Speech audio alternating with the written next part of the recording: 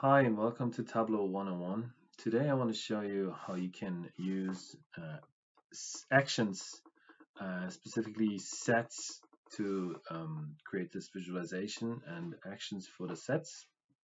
Um, so what we've done here is uh, we created a set with cities and when I click on a city it'll actually highlight the city um, on the other studs um, so this can be a great visualization to uh, highlight and make um, make a certain metric stick out.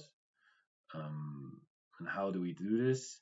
Um, we create first of all a set. In this case, uh, based on city. So you can see we just um, created a city set. Um, that's just empty. So we want an empty set to be able to have an in and out of set that we can then color in. So when we go back and take it out, you guys can see what I mean. So at the moment it's all just blue. And um, then when we go to um, dashboard actions, we can add a new action that's called um, change set values we already created one, so we're going to check out how that looks.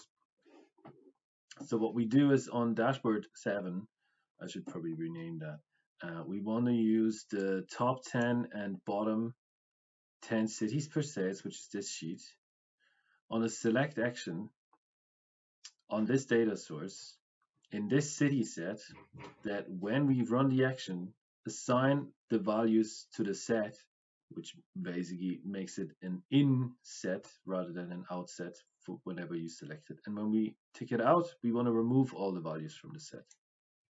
So how that works is by clicking on New York City, Tableau feeds the set with New York City and that way creates the visualization to be the coloring to be um, in that case orange because it's inside the set and everything else is blue, which is outside the set.